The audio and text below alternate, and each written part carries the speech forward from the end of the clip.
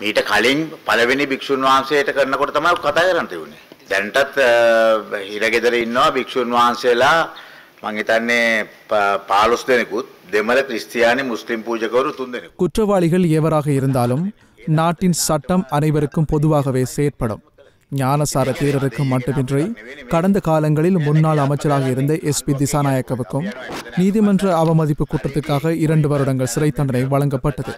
அத்தோடு சிறைச்சாலையில் ஞானசார தேரர் மட்டுமின்றி பதினைந்து தேரர்களும் கிறிஸ்தவ மற்றும் இந்து மதகுருமார மூவர் என மொத்தமாக பதினெட்டு மதகுருமார்கள் தண்டனை அனுபவித்து வருகின்றனர். இவர்களுக்கும் சாதாரண சட்டமே நடைமுறைப்படுத்தப்பட்டுள்ளது.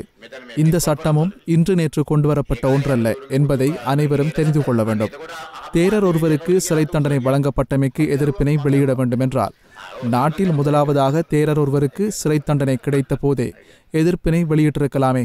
மேலும் நாட்டின் சட்டத்திட்டங்களுக்கு உட்பட்டுதான் ஞானசார தேரருக்கு சிறைச்சாலையில் காவி உடை அணிய முடியாது என்றும் கூறப்பட்டுள்ளது இந்த நிலையில் எதற்கடுத்தாலும் அரசாங்கத்தின் மீது குற்றம் சுமத்துவது எந்த வகையிலும் நியாயமில்லை குற்றவாளி என நீதிமன்றினால் தீர்ப்பளிக்கப்பட்ட தேரர் ஒருவரை விடுதலை செய்ய வேண்டும் என்றால் சட்டத்தில்தான் மாற்றத்தை ஏற்படுத்த வேண்டும் ඒ කාලේ ඇමතිවරුන්ගේ පුතුන් හිරේට ගත්තද? අන්න එතකොට ආපු මාධ්‍යවේදියා කවුද කියලා අත උසල කියන්නේ.